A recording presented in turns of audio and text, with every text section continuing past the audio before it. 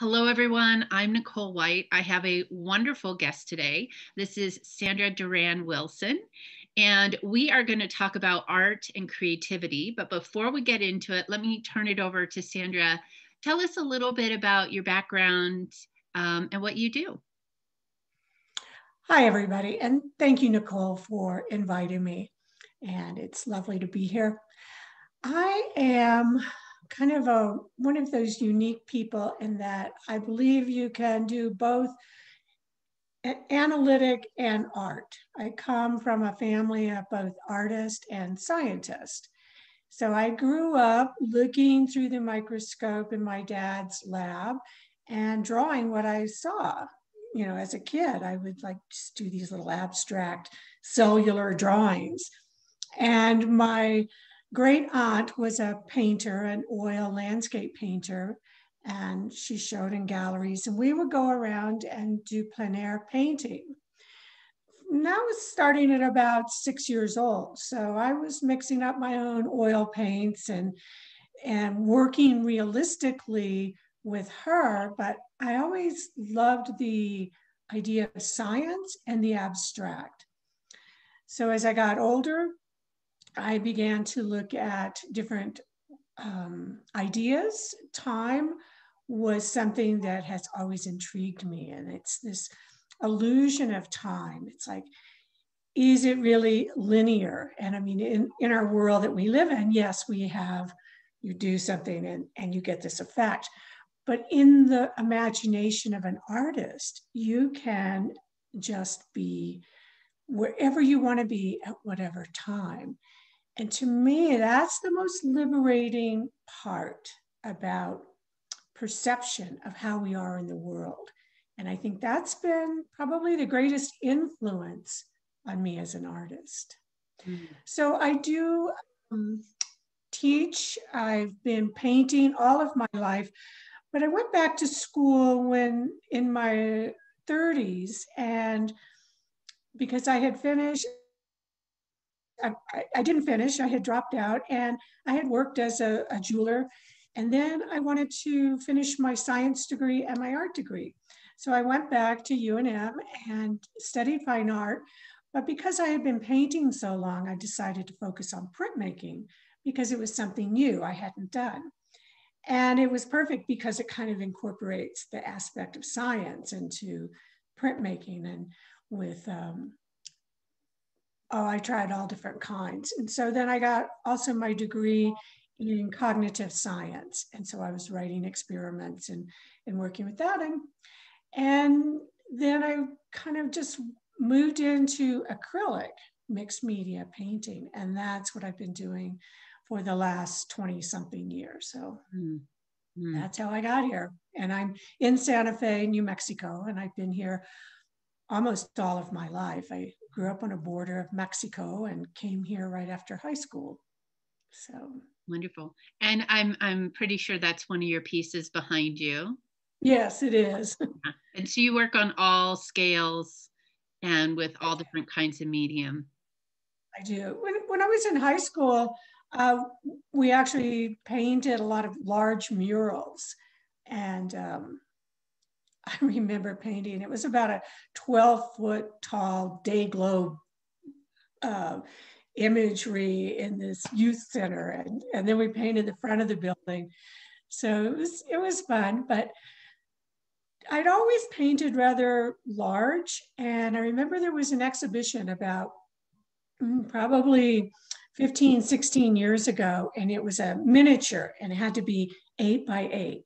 And I sat with this little canvas. And I was like, how do I do this? How do I paint this small? And once I did it, I was hooked. I love to paint small. I mean, I love to paint large also, but I think you can learn just as much by painting a small piece as you can a large piece, and sometimes even more, because I find people have more freedom to want to try things on a small piece. Yeah. So Yes, I do paint all sizes. Wonderful, wonderful. And I know you and I do similar work in regards to how we work with folks and trying to help them draw out their creativity and nurture whatever creative spark that they have and i believe now especially now in these cra- this crazy year we're in 20 we're in december 2020 as we're recording this mid december um, i know that the being home more has really just encouraged me to do more art more art than i've ever had time to do and so let's chat a bit about the importance of one's creativity um, outside of the box of it having to be, oh, I'm a mixed media artist, I'm a painter, I'm a drawer, I'm a musician, I'm a fashion designer. Um, because I know that creativity fills the soul and mm-hmm. that creatives often have sometimes a really great balance and outlook on life because they have that creative outlet, right? So I know you teach a bunch of courses. What are some of those key things that you like to help people with with their creativity, especially if they feel stuck? Well, I think one of the my my last book, which was my sixth book, and it's called Awakening Your Creative Soul, and it really taps into that place within you that needs to create. Creating is like breathing. But so many times people have been pushed down or they've been told, oh, you, you know, they have a, a vision of what creativity is. And it's not just that. I mean, you can be creative in the kitchen, you can be creative in the boardroom, you can be creative in the hospital, in the lab. I mean, it takes creative thinking to really make the world work. And when you just kind of go along with, okay, follow A, B, C, D, you know, you you're kind of limiting that. And so I had a, I do a weekly YouTube series called Mixed Media Soul Sparks. And I had somebody comment on one of the videos, and she was saying that she had imposter syndrome really bad and that she just really loved watching the videos and finding, excuse me, and the um, the freedom of just creating with what you have on hand and not having to follow certain rules. But the but the imposter syndrome, it's I, I see that a lot in people. And they think, well, I can't call myself an artist because I don't have my work in a gallery or I don't sell my art or what I mean, there's a million and one excuses. But does that make you not creative? No, it doesn't make you not creative. And I and I say to people that I've I've coached a lot, and, and it's like, okay, so here's your dream. You want to get your work into a gallery. Well, then just because you get the work into a gallery, that doesn't mean they're going to sell anything, you know? And so, what's your next goal? What's the next step? And there's always taking steps. So, perhaps the first step to being creative is just to pick up your pencil or to pick up some paint and just do it. Mm-hmm. And I think people have that fear of trying to do something, fear of judgment. And the, the worst judges are ourselves, you know. So I have this great exercise I've done with students, and I used to use this when I worked in uh, counseling also. And I would say, okay, well, take a take a pencil. You know, you're working on your table, and just draw a circle and write mute in it. And this is your mute button. So when the critic comes out and starts to, nah, nah, nah, nah, nah, you just go over and hit that mute button. And I was teaching a workshop here in my studio, and one of the women, I'm looking over at her, and she's over there. I said, Oh, your critic must be quite active. And she goes, Oh, yeah. Oh, yeah. So she said it was the greatest thing, though. She could just like mm. acknowledge it mm-hmm. and say, Okay, I'm going to do this anyway. Uh-huh. And I think that's the main key is that, you know, anybody can be courageous if they're not afraid. But when you're afraid and you do it anyway, that's when you're really courageous. Yeah. And yeah. That's true in creativity. Absolutely. and I I feel that you know there's so many artists online and and it's so easy to feel like your work isn't good enough because you know we just have this online world that is bombarding us with so many artists but they all started somewhere. They all drew a awkward little stick figure or painted their first weird painting at some point. And i believe you know there's every variable but i think that some children are nurtured into that art and then i was talking about this with someone else the other day. Sometimes there's a teacher or a parent who just they're they're not right in their thinking where they'll put a child down and yeah. like oh, you yeah. can't try. And it creates this limiting belief. So when people say to me oh i'm not creative. I can't draw a straight line. I, i'm not an I, i'm just not. I like to go in and go well where were you first told this? Because we're all born creative. I mean a kid until they're broken right? I mean they will dance and sing and draw. And look look how look what i did. And then at some point something happens and some people stop. Right. But some and, people and keep going. One of, one of my studies in cognitive science was an analysis of creativity and you know linking it with developmental studies like of Piaget of how children go through these steps. And there was I can't remember the woman's name off the top of my head now, but she had like a kindergarten, a preschool, and in the Bay Area going back from like the 70s up into maybe even the late 60s, up into the early 90s. And she had documented pictures of kids, what they draw. And all children all over the world, they go through this same development. I mean, around two, there's the big headed people, you know, they have all big heads and little bodies. And that is true across cultures, across the world. So art follows this pattern. And she saw that most kids would stop drawing at around the age of nine or 10. And this is when uh, you started to get analytical reasoning coming in, and kids wanted to be able to paint something realistically. And if they couldn't, they became frustrated. Or if a teacher or someone else said, oh, well, that doesn't look like a truck or a tree, or they stopped. Now, of course, there are the kids that have art wounds, and I mean, or the adults that have art wounds. And, you know, the stories are just, and I've witnessed them firsthand when I've been working in museums with families and stuff. And it's just like, no, no, no, you can't do that. But um, but I think that's interesting to see that when it gets to that point of realism is when we see that break. Mm. And it takes time, it takes effort to be able to develop a skill. And I think that, you know, sometimes we're more geared toward a particular skill than another.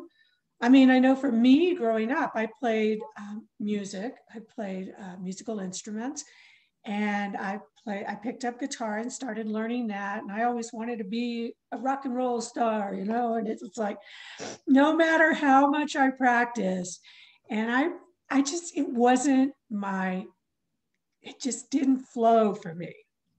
And whereas art was so easy, and mm-hmm. it was mm-hmm. always. Mm-hmm that I thought, well, I kind of dismissed it a bit because yeah. it was easy. Yeah. And I was, well, I got to do something that's harder. but finally, after, you know, after a certain point, I'm just like, okay, well, I'm not going to make it as a rock and roll star. So I just pursued other forms of art. But, you know, what I mean is like sometimes some things are easier for some people yeah. So I think with creativity, to first acknowledge that we're all creative. And when I hear that, oh, I can't draw a straight line, I say, well, that's what a ruler is for. Exactly. You know, it's like drawing, people think of artists as creating something uh, realistic. You know, it's like we go to the museums, we see all these paintings, and they think abstract art is just, oh, my two year old could do that. Well, you're right, your two year old could, but your 20 year old couldn't. because it takes a lot of effort to be able to create abstractly when you get older. I mean, Picasso even said it's like, you know, you learn how to paint when you're a child, and it takes the rest of your life to relearn how to paint like that. Yeah. yeah. And realistically or abstractly, you're still working with the same rules of good composition and color, but you're also expressing an idea. Mm-hmm. And the abstract work is an idea. I mean, you can get the same thing with an idea through realistic work, just with your color, your composition, but our brains are hardwired to see a face and we're like, oh, okay, I know what that is. I can move on. Mm-hmm. So if it's abstract, you're like, well, I don't know what it is. Where do I go? Mm-hmm. And as the creative person, you have to be able to direct them. Mm-hmm. And I mean, even if you're a graphic designer, it, it's like you have to use certain elements to to keep the viewer engaged. Right, right. You're the if you're the chef, you got to make the right ingredients, or the musician. You know, it's absolutely it's all about breaking rules. Yeah, absolutely. And like when I teach watercolor or something like that, I'm like, I'm going to teach you some techniques, but then find your own find your own way so, for instance, I know a lot of teachers will teach the way that they paint, like if they're a realistic painter or a watercolor mm-hmm. painter. And when I talk, when I teach watercolor, it's more about let me show you what the medium can do in all these technique we- ways, and then you can find what what you like, what you gravitate towards, and build on that. Meanwhile, these techniques yes. will show you how this medium works, and then have fun explore, break the rules, right? I mean, there, there, is, there is one point, like if, if somebody is brand, brand new to especially mixed media, I mean, because I do the same thing, I teach techniques. But if, if somebody doesn't, they really don't know what their uh, mark making is, they, you know, they, they haven't even learned the lingo yet then there needs to be a foundation built and some structure. And I learned this the hard way because, like I said, I painted all my life. And so it's just, even if I'm pushing things and I'm exploring, I have a foundation that yeah. I'm standing on. Yeah. So several years back, I decided I had a project in mind and I wanted to do it in glass. And so I took some glass classes and I saw one, it was like printmaking with glass. I was like, oh, okay. So I signed up for the class at Bullseye, and I was the only printmaker in there. The rest of the people were glass artists. So what I found, there was a series of three classes, and I actually took them in the opposite way that I should have. Because the third class I took was the foundations. And so when I went into this first class, it was like, what are you talking about? You know, frits, powders, this, slumps, temperatures. I didn't have a foundation and I felt so lost. And I mean, eventually I produced something, but it was a great lesson for me to realize that it's important to kind of have some foundation. So one of the classes I teach is like finding your marks and it's mark making mm-hmm. and understanding how you actually move in your body. How do you move to make marks? Some people are much more fluid, some people are more staccato. And so I have another class where I incorporate music and rhythms and mark making. Mm. And it's a way to connect your body to your your mark making. It's yeah. like I think the more senses that you can bring in to your creative process.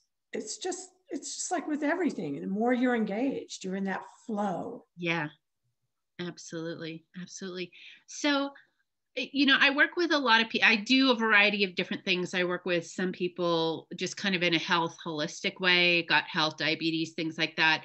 And then uh, my love, my passion. I mean, and that's my passion too. But my my heart really sings when I could just express myself and and be with others who are expressing themselves with art. And uh, you know, I've run into so many people who uh, work their nine to five job. They've been, you know, there 10, 20, 30 years. They've got this creative spark and it's like a, a weekend, a once in a while thing. And what I usually share with people is find a way to engage with it every day for even just five minutes to where like if, especially if you do it first thing in the morning it's going to set the tone of your day. You're going to find you're more creative. How do you work with people who maybe come to you or your classes and they just feel like they're creatively stuck? You know that mute button is awesome um, but but you know what are some of the things that you share with people to really help open up and crack open that creativity without it having to be this final piece that you're going to sell right just to do art to be in the process well I, I I think journaling is really a great way to do it. And it can be visual journaling, it could be writing. Um, I'm a writer also. And so for me, one of my ways is to begin writing in the morning.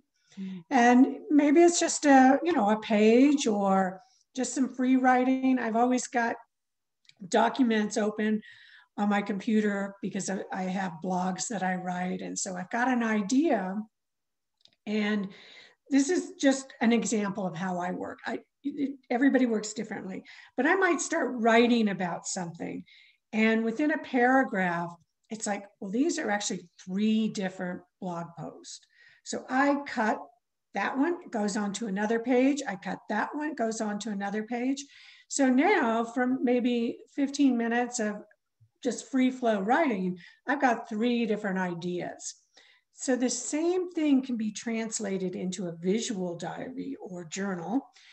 And I might, if you look at one of my, my sketchbooks, it's really not much sketching. It's, I sometimes have a lot of writing. I sometimes have ideas, and it might be just a little thumbnail sketch, size or format that I want to do maybe I cut some things out of magazines as far as colors or patterns. It's like, oh, I see that shape over there. And, and I call them kind of lookbooks and idea books. And it's a great way to start. And then when I'm working on an exhibition that I need to create maybe, you know, 20 or 30 paintings for, I spend a couple of weeks just flipping through these books that I've done. And I'm like, okay, this idea fits in because my shows are all about ideas. My last one was it was down at Popejoy in Albuquerque. It was an exhibition called Other Spaces, and it had to do with science of other planetary spaces, but also concepts of space on our planet, how we regard space. So I flipped through my books. I found things, well, this kind of fits in, or I like that, and how can I work with that? So just creating these journals with ideas, with just quick drawings, with words, with emotions, with collage, it's going to be an inspiration because you just, you kind of just get your glue stick, put it in there. Sometimes I'd even just use like scotch tape and put it in there, you know, then you don't think about it, you don't look at it, you keep going. And then you come back to them and you're like, hmm, you see, because when you're working intuitively, you're you're creative. You're not going into the blocks. And so that's probably one of the best ways I have worked with people. is just, you know, go in and make something. Mm-hmm. Absolutely. I'm glad you brought up the sketchbooks. I mean, my sketchbooks are a place where I feel so much freedom. And, it, you know, I, I, I might be a weird thinker, but there's always a time where I'm like, gosh, if if something happened and all I could do was pile my car up with what I was going to keep, right? It's going to be a flood or a fire. I would take my sketchbooks before I would take my finished paintings. Yeah. Yeah. Because I think it's because it's the process of creating which is intrigues us most. When you're finished with it, it's like, okay, I figured it out. I'm done with it. But you want to have that ability to go, ooh, how do I do this? And that's where the sketchbooks are. Yeah. It's a good yeah. And and for me, what I share with people is the sketchbook is really this free for all, right? And I'll do the same. Sometimes it's drawing, sometimes it's writing. Um, you know, it's usually with a pencil, sometimes it'll be with a pen, but sometimes there's things that I can draw out, but it's like, oh, this needs a color, right? So then I write in the color with with an arrow pointed. And I think if we engage with some kind of journal sketchbook where it's this place that we go to often, you know, people might think of it like a diary. It's it's it's where you express yourself. Um, I started doing this as a very young girl. I was in a household. I, have a great relationship with my family now, but I was in a household where I just couldn't speak my mind and so that for me is really where the art began the writing and the drawing and the painting because i could express myself in almost a cloaked way right i didn't have to write out exactly what i was thinking um, but i i could do it in such a way to where i was still able to express it which for me that's been my lifesaver is this ability to have some place that's not judgmental unless oh, I have to mute myself. I love that mute button. I'm going to make one after we're off the yeah. making a mute button. We um, all have these extra these extra remote controls. Just put a remote control. Nice. Because you can always just turn down the volume too. Right. That right. That's true. That's true. I've made little things where it's like literally a knob with a volume, um, like as a book cover thing. And and yeah, oh, it's so great. and and so I think like just some of the ideas that we're sharing right now is anything and everything goes and everything is energy and the more energy you put into it it grows. So maybe talk about how you feel or encourage people in that way because it's like anything. Whatever you do every day you get better and better or it becomes a habit or a ritual. So i've worked right. with people to where they're waiting for a time where they've got five hours or the whole day right so they won't do anything creative all week long and then wait for the weekend but all they need is one little thing that comes up to where it's like no it doesn't work for today so uh, you know how do you encourage? I'm a list. I'm a list maker, and I grew up as a list maker, and I still do this. And I will have a list of these are the things I absolutely need to do. You know, like okay, so I have an appointment with you to talk today, so that's on my calendar. I have something else I need to do today, and then I have the things that I want to do, and maybe I have three things I have to do and six things I want to do. Mm-hmm. So I'm going to intersperse those into my list. Mm-hmm. And, you know, if you think about it, it's like, what do you have to do? Okay, so maybe you have to go to your job, you have to work, but do you have to come home and spend a half an hour scrolling through Facebook?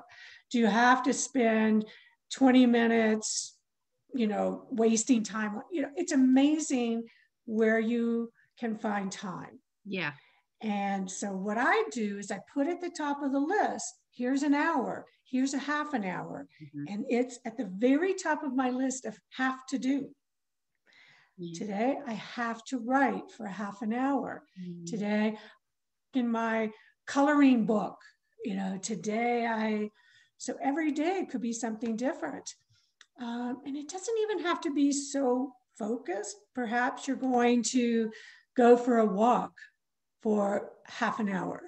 And in that walk, you're just going to be maybe listening to something inspirational, or better yet, you're going to be just looking around you, being really present in the moment and observing, observing as much as you can, sensing the temperature, the smell, the weather, the feel of the ground under your feet, become really in that moment. And then when you get home, you write about it, you sketch about it, you take that and you do something with it. So that could be your half hour of creativity. Mm-hmm. It doesn't have to be something always the same. Otherwise, it might become more drudgery. You know, you got to get. Here's one of my favorite things, and this is in this is in my book and one of the chapters. And I make these inspiration cards, and it's just easy to do. You know, you just take some pieces of paper, and you know, you can make them as fancy or as simple as you want. And they're going to have verbs you know and so when you pull a card maybe you pull like walk you know so maybe you're walking you're painting and you pull these different cards and you have to come up with different ways to act out that verb Mm-hmm. mm-hmm. so it's it's a way to break things up than what you think of every day now i mean i work every day in in creating, but actually about half the time is the business side of art. The other half is actually making it. Sometimes yeah. it's more like 70% business, 30% making it. Yeah. So, I mean, I still make about, you know, 80 paintings a year or more. I mean, I'm working a lot, but it's not always just, oh, go into the studio and, you know, there's there's the business of art. One of my students, um, she worked at University of Texas at Austin, and she had always been creative. And I mean, even in her job as an academic, she um, managed a laboratory. And so when it came time for her to retire, she wanted to focus on making a living as an artist. And she came to one of my workshops in Austin, and she got, and this is after about mm, maybe three or four months of, after retirement. She goes, I have never worked so hard in my life. You know, she goes, I am always working because there's, when you're self employed, you always have to be thinking or doing or working. Mm-hmm. But it was something that she always wanted to do. Yeah. And it brought her great joy. Yeah. But it's not it, it's not easy. Right. Right. So so the maze the thing why do you want to create? Do you want to just create to have this access to it? That's wonderful. I think that's the most important reason to create. Mm-hmm. To make your living at it, it's it's hard work. It is. So first I say tap into your creativity. How can it enhance your life? Mm-hmm. Because it will and just bring you great joy. Right. So then you take it from there. Yeah. And and on that note, I mean, there's I work with a lot of different entrepreneurs and it's really about creating that time for whatever your passion is. And it's very different working all the time and i work all the time too but it's very different working all the time when it's for you and it's for a goal rather than it's mm-hmm. just time that you're putting in at a business that would replace you in a heartbeat if you couldn't show up anymore. So it's not this kind of hard work is not something to be like oh no then i don't want to be an artist. It's like yes because the passion for it will make the work you know it's like oh i have to do this marketing thing or this internet thing in order for this next step to happen. And then i know for me once i do finally get time to just sit there and paint or draw or whatever it's so rewarding. Yeah. Yeah. Well it's like it's like the story of the stonemason. Have you heard this one of you know there there's they're building a cathedral like so this is back in the middle ages and this person walks up and the first uh, person they say well what are you doing? And they look and say can't you see what i'm doing? I'm hammering these rocks you know i'm chiseling this stuff i'm i'm laboring here. And they ask the next person and they answer oh, this is my craft. I'm getting the angles of the stone just right. I'm polishing the stone so it's beautiful.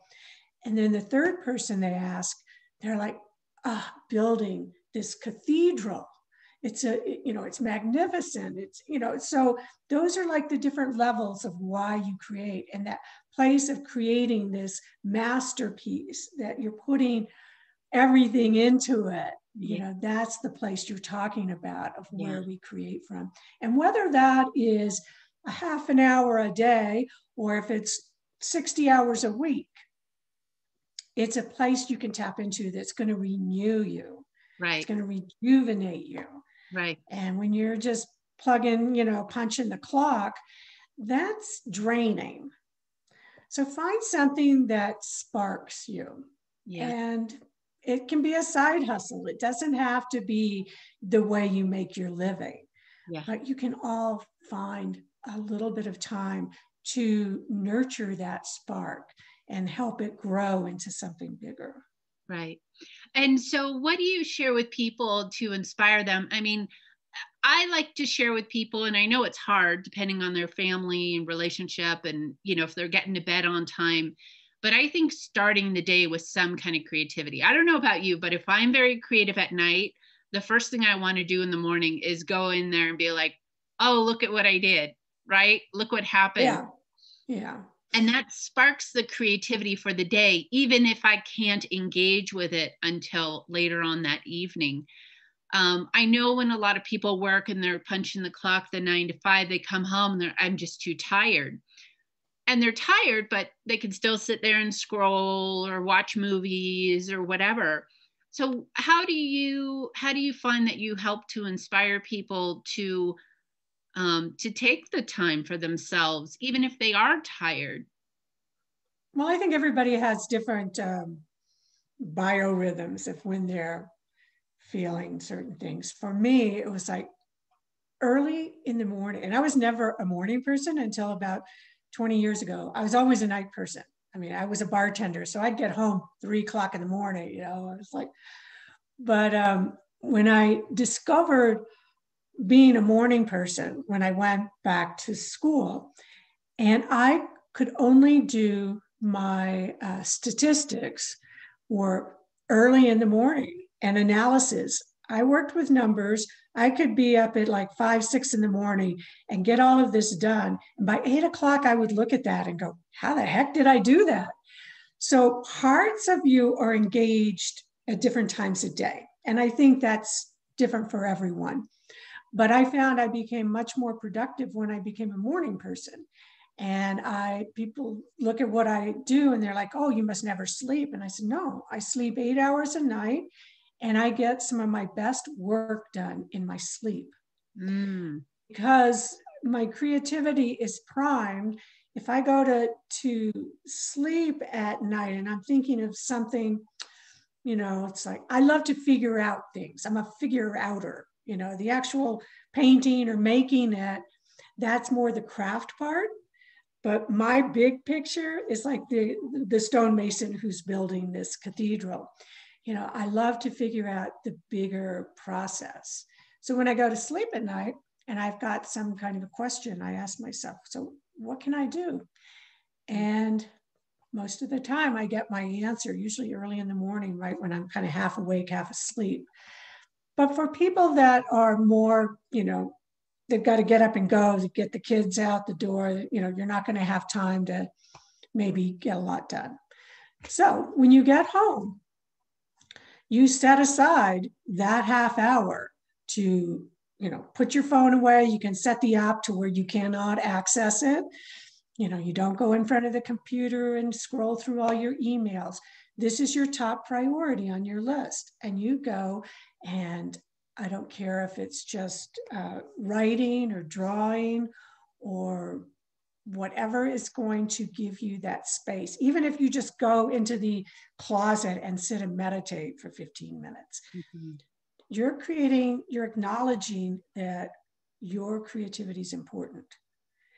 And I think it's the idea that you have to plant this seed before you do anything.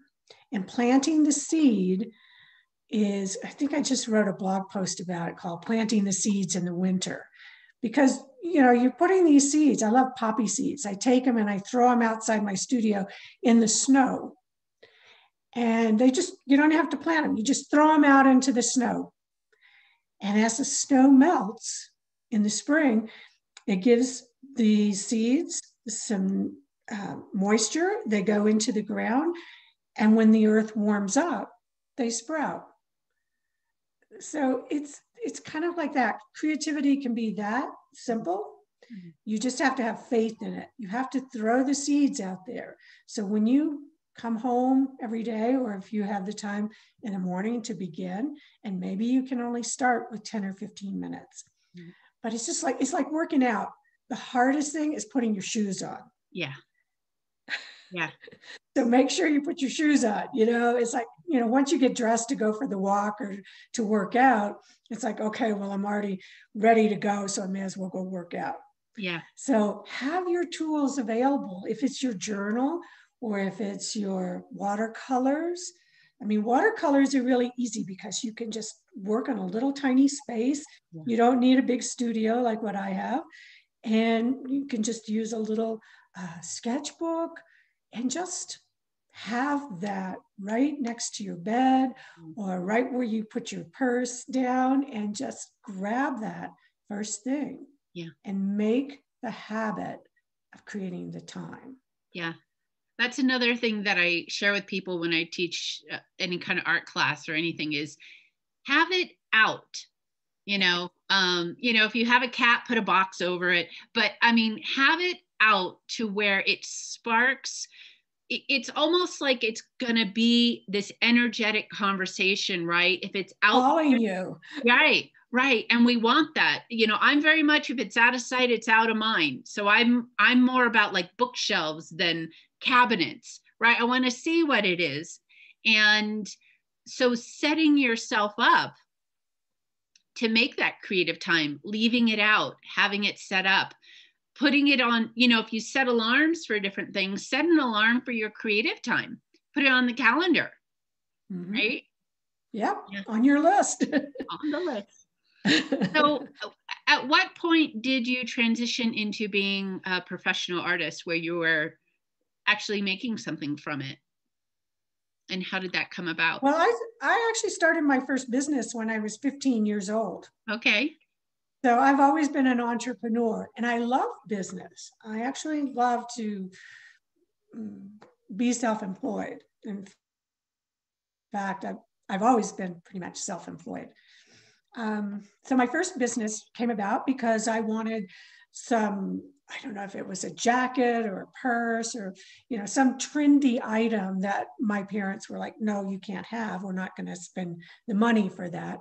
So I was like, I'm fine. Well, I'll, I'll make it.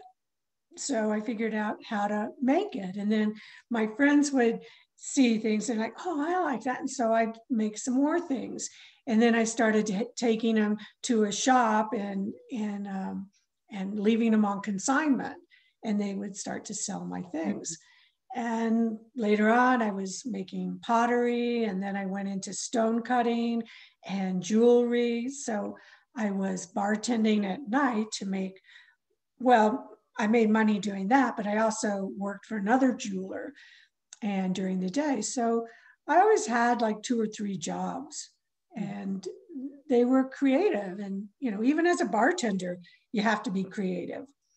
One of my, my favorite things is like I had a basket full of these little toys and so I'd put them out on the bar, you know, different people would be there. They'd like start playing with these toys and stuff. And it was like great conversation starters. And, you know, you'd have some architect over here playing with some musician over there, and they're like playing with their with their toys and creating these scenes. And I mean, I I was entertained by it. Yeah. But um you know, I think you can be creative in any job that you have. It's more the mindset mm-hmm. and, you know, how you decorate yourself, how you decorate your cubicle. I mean, all of these things play into your creativity. Absolutely. Absolutely. And I've, I've, I know some people, they say they're not creative and yet um, I knew this one woman where the brim of her hat matched her lipstick, which then matched her skirt and her shoes and her purse. And I was like, that's probably effortless for you now. She's like, it is. And for me, that would be like, oh gosh, match, you know, what? I buy simple things so I don't have to think about that. but we are we all i mean like you said cooking is creativity gardening is creativity so it doesn't have to look like you're creating a, a painting or a piece of pottery or a sculpture. Like we can take this creativity into parenting you know how you parent is creative. Yeah. I mean teachers you know that teach uh, grade school kids are so creative. I think the the silver lining of this past year has been that people have discovered that you know the gardening or the cooking or baking bread or, or whatever it is they're taking this time to do things. And i'm i'm very hopeful that we come out of this pandemic with ideas to carry us forward. I was just reading an article yesterday about even though small businesses are failing even more are beginning. Oh, because okay. people are starting to say, well, you know, okay, well, I can work from home. And that, because I'm not commuting like in a big city, some people spend four or five hours or more a week. Some people spend four hours a day commuting. That when you're not commuting, you suddenly find you have this time. Time. Yeah. And, you know, people are even making balcony gardens or you know, learning how to cook with spices. So all of these things are creative. Yeah. And um, I, I, I see that as a silver lining of this past year. So, if someone has created a body of work and they want to start getting into the business of selling it or getting into galleries or just their own website, what are what are some things you, with all of your experience, you'd recommend for folks who who do want to start selling their work and maybe don't know where to begin? Well, be prepared. That's that's the thing, and say yes. I've gotten into more things just because of those two reasons. I'll, I'll share a quick little story about. Um, I have a gallery that represents me in Australia, and I've been there twice for uh, solo exhibitions.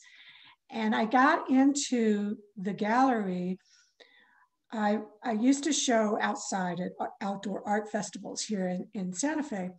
And I was actually away at the time. I was teaching on the island of Corsica. But a woman came through and she was talking to another printmaker at the show. And so they kind of set up this exhibition. And originally the work was just going to go to Australia. Well, it turned out that one of the other printmakers, a very well-known printmaker, an older woman, they weren't sure if she was going to be able to participate. So my friend asked me if I would be interested. Before I knew anything, I said yes, you know, and that in turn turned into they came over to collect the work. We were having dinner, and I shared a story about how I tried to convince my parents to move to Australia when I was 10 years old. And they looked at each other and said, We need to get you to Australia. And so they took us over to Australia. And it's, but it's just something like that to, to say, yes, it's like, I don't need to know all the details. I just know I can do this. Mm-hmm. And sometimes you say yes, and then you got to figure out how the hell am I going to do this? Right. But if you're prepared, if momentum. you, yeah, yeah, yeah, it's a motivation to, yeah. But you know have have a statement have an understanding of what an artist statement is. You, you know you don't actually have to have a website. I mean i think website's still kind of the the gold standard. I use a website that is a template based and i'm able to update it easily. And i think that's the biggest setback for people is they're like oh i'm not a tech person. I can't figure this out well if you're an artist you can figure it out it really is. I mean, the templates are easy, but photograph your work. You need to photograph your work. And, you know, the phones are great now. You don't need a whole heck of a lot of equipment, but know how to crop it. You don't want a lot of stuff in the background. So, you know, a basic thing, if you're going to present yourself as an artist, you need to have, um, even if you don't have a, a history of it, but say you can say, okay, well, I've studied with this person. I've taken this class. I've um, traveled, and this is part of my experience as an artist. And here are some photographs, and you can put it on a, a business Facebook page. Personally, I don't like to have my information dependent on like Facebook or somebody.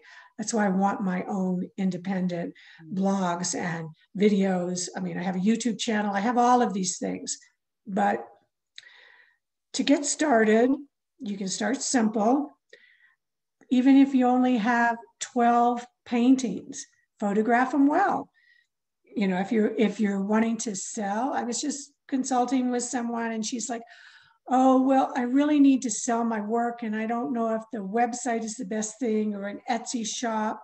And she's trying to do both. And I'm like, look, to get started, you really don't need to do both. If you feel more comfortable with an Etsy shop, get your Etsy shop up there personally, I don't, I have one, but I don't put anything on it. It's easier for me to update my website. So find out how you work, um, be prepared, and you've got to keep putting yourself out there. Right. Go to the local library. They're always doing art shows. I mean, yeah, right now everything's closed, but you're you're going to spend the next, you know, 6 months getting ready. And then you know, you do community, you start out in your community, and then you become the big fish in the little pond, and then you start expanding. And with the internet, you can be all over the place. Yeah. Yeah. You know, I used to say I'm appearing on refrigerators worldwide because I used to have postcards I'd mail out, or people would come to the shows and they'd take my postcards and, you know, put them on their refrigerators. Mm-hmm. Mm-hmm. So, yeah. But it's, it's daily steps. So it's just like in the steps to becoming creative. You have to train your mind and yeah, there are going to be days. I mean, I have days when I'm like, oh, why the hell am I doing this? You know, nobody's paying attention, or, you know, we all go through that. Even the most famous artists go through that, or they have their big sale and then they go, oh, am I ever going to sell another painting? Mm. It's just part of being human. Yeah. Yeah. You know, you're not the only one. It's like we're all in the same boat. Right. But just keep showing up for yourself. Yeah. Believe in yourself yeah. Yeah. Absolutely. And and there really is something for everyone. I i mean it's so interesting. I, I don't know if it's a good thing or a bad thing but it helps keep me motivated.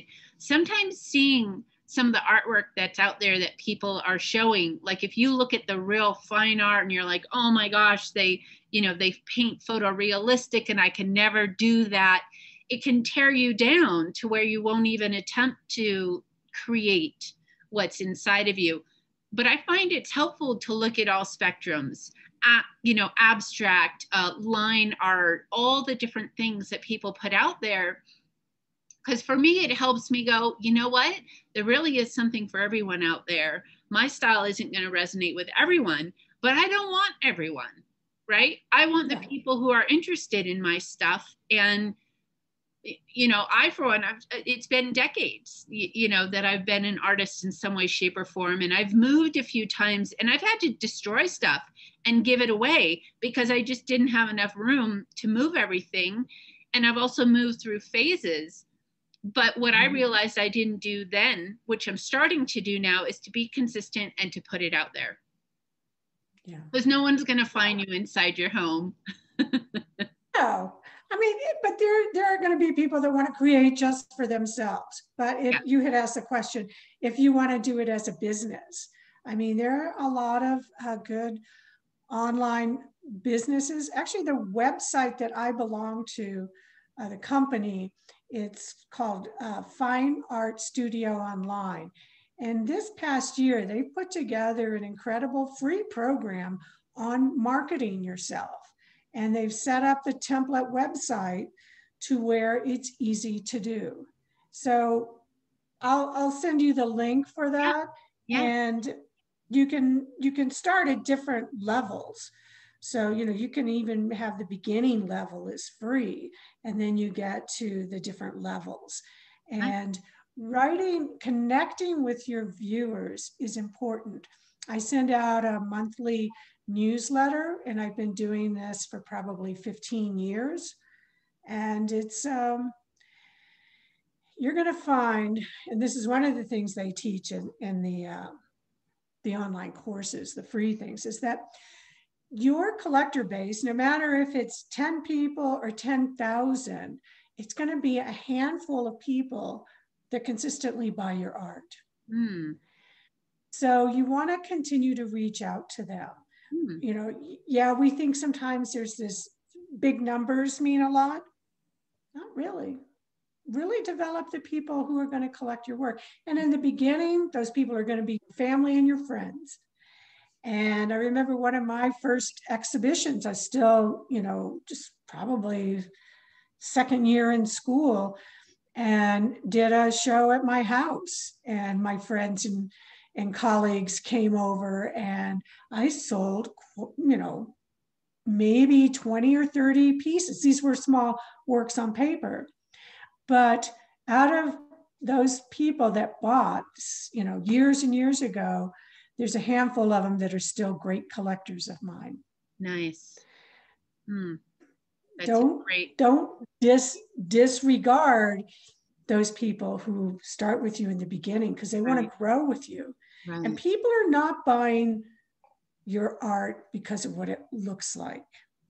They're buying your story. Mm. They're buying a piece of you. Mm-hmm. And that's why you really need to be prepared with who you are, what's your story, why do you create? Mm. Because that's uniquely you. Mm-hmm. You know, I have synesthesia, which is a crossing of the senses. So for me, music and math create colors. Like this piece back here was created to music. So that's part of my unique story. And everybody has a unique story of why they create or you know what type of work you know i i'm drawn to feminist work and other people might be drawn to more traditional work or historical work or so find what you like find your story mm-hmm. and really uncover that because as you uncover your story you're going to uncover why you create. Yeah yeah. And that's going to be your biggest gift going forward yeah. collectors. Yeah there's so many gems in that and and you really hit on something i i personally hadn't thought before which is somebody who buys one piece you know they're more likely to buy future pieces than um it's it's like cultivating the clients that you already have instead of oh thank you. All right more you know let me get new people in the door. Right? Because they're they are. They're going to be the ones to support you and grow encourage you. you. and grow with you. And and people do when they set up their homes.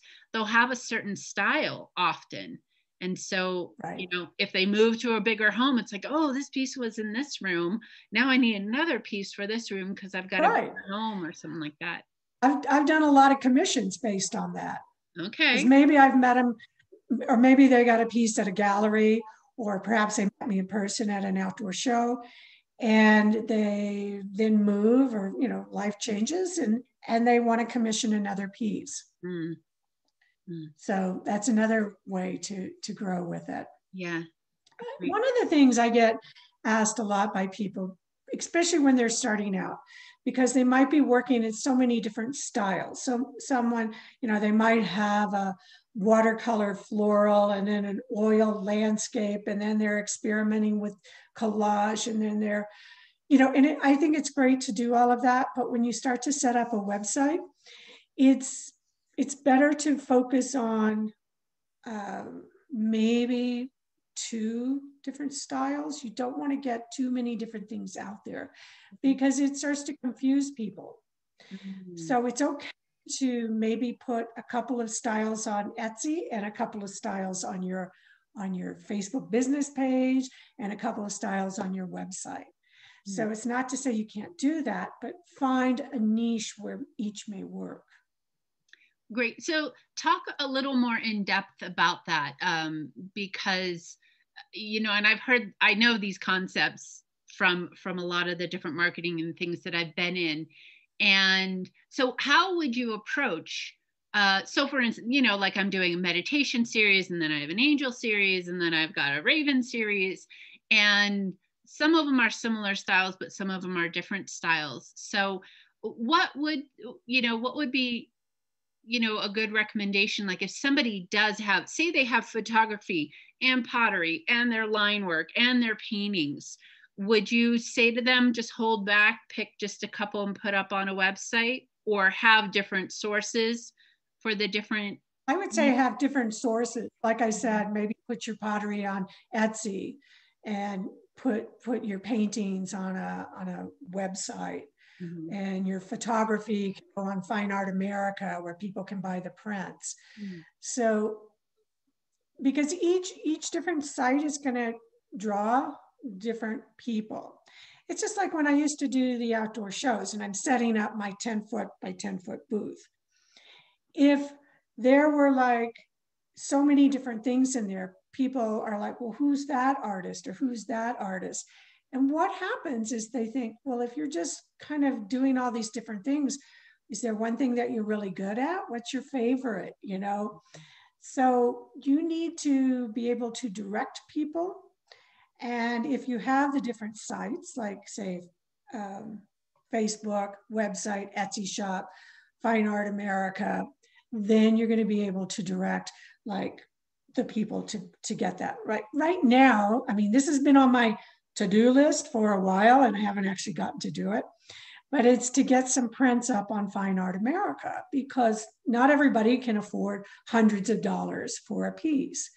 So if I can get a print up there that, you know, they might be able to get a big piece for a few hundred dollars rather than thousands.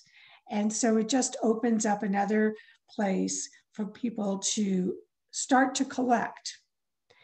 And one of my favorite collectors was a 10 year old girl.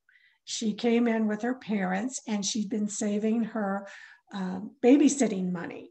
And they were at the outdoor art show and she was going around and looking in all the booths. And i have i had prints there that i had printed myself that i would sell and they were like $50 i think. And so she spent a lot of time looking through them and i was talking with her and talking with the parents. And she went and looked at all the other booths and she came back and she decided she wanted this particular piece. And you know i i know that she'll be an art collector. And i mean maybe not my work but you know she had that passion.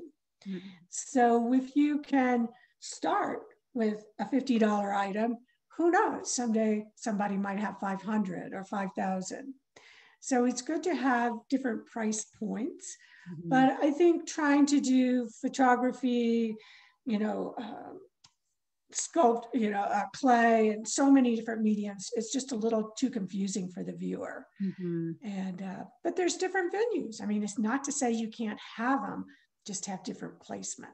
Right. That's a great. Nugget. And even like so, so if you're if you're a series like your Raven series or your meditation series, if they're all like works on paper kind of thing, mm-hmm. you can have that on a website and just say Raven you know, and just name the different series. Mm-hmm. I mean, I do my website by sizes. I have small works, mid-size, large works, works on paper, commissions. So, and sculptures. Right, right, right.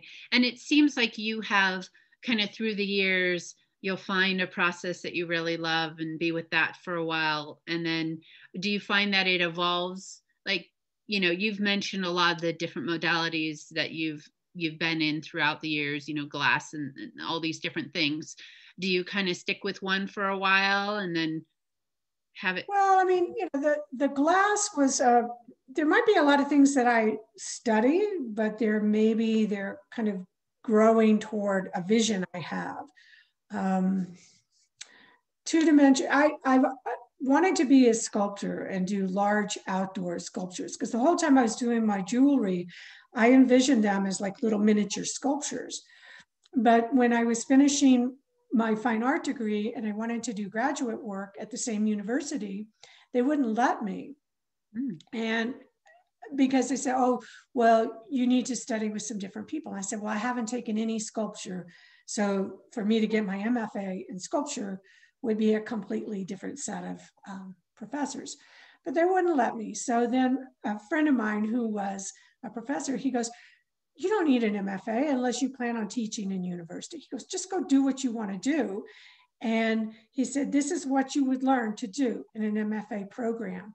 And so I went out within six months of graduating and I did all of those things that he suggested, you know, producing my own show, learning how to do the video, learning how to do the photography, all of these things.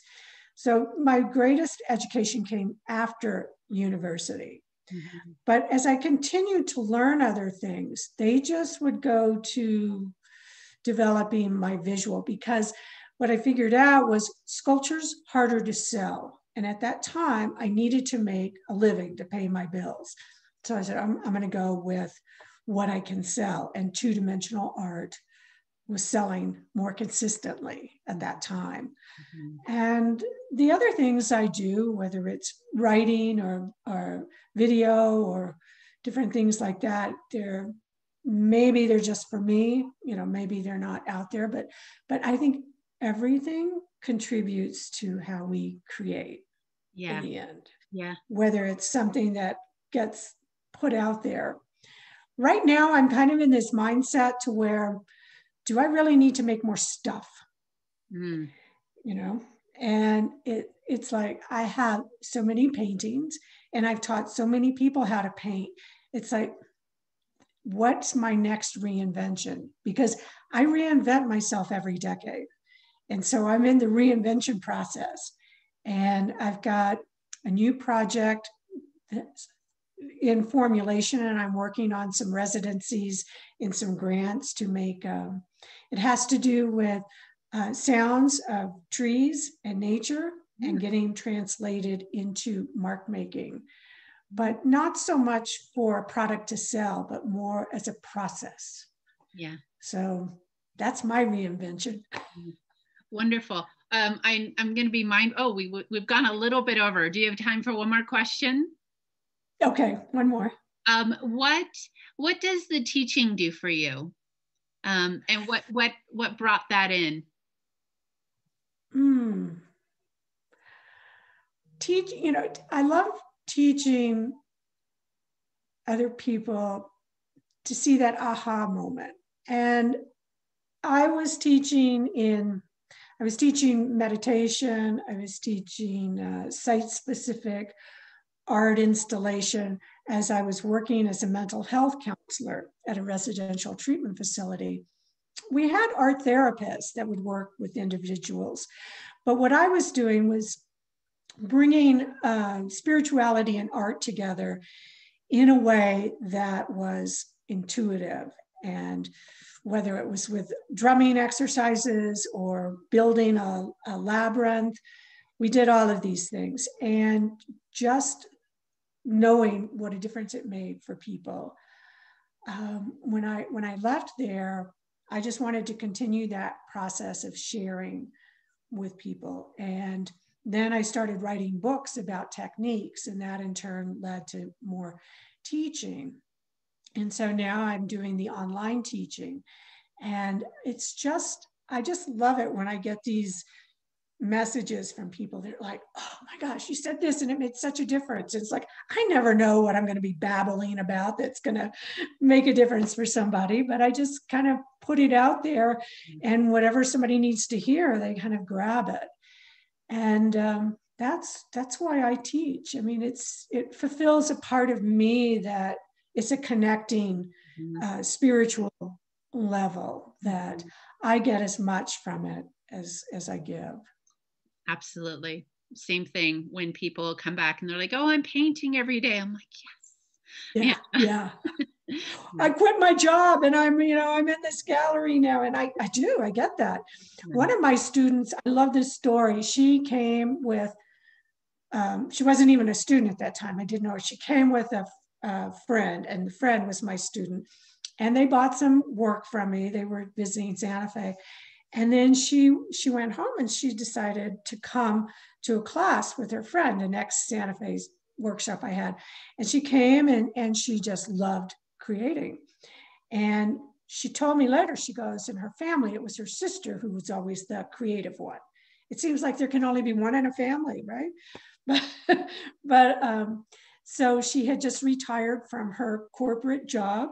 And so she started taking more classes. Well, within a year, I mean, this woman had done this incredible body of work.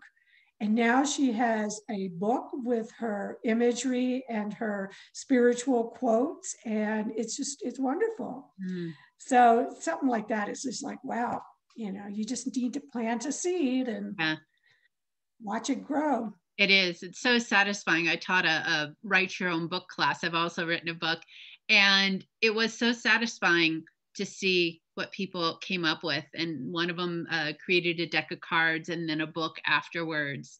And I kind of forget because I know this person. And then she's like, You inspired me to do it. And it's like, Oh, wow. You know, I did something good. All right.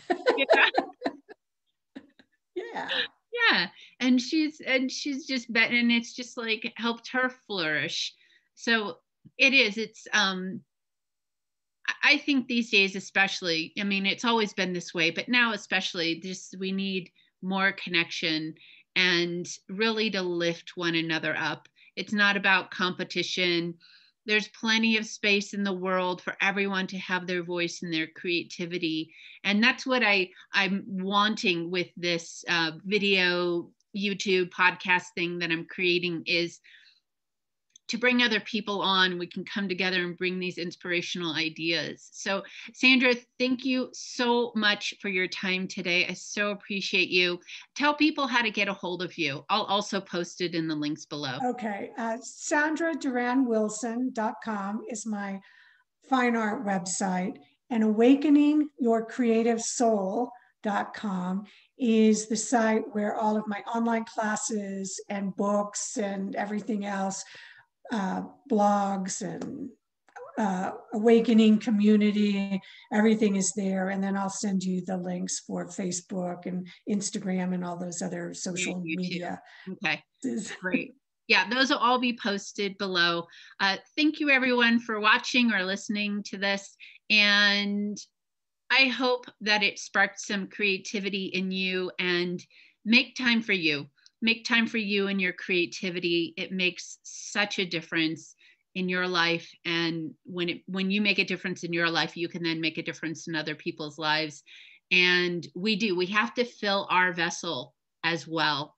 Um, you know if you're a giver a mom or whatever and just giving giving giving to your business to your work you have to refill that vessel so i hope this conversation sparked some creative ideas within you and write them down, start the process. You can always start today. All, All right. right. Well, thanks, Thank Nicole, for having me. Absolute okay. pleasure. Blessings. All right. Okay. Thank you.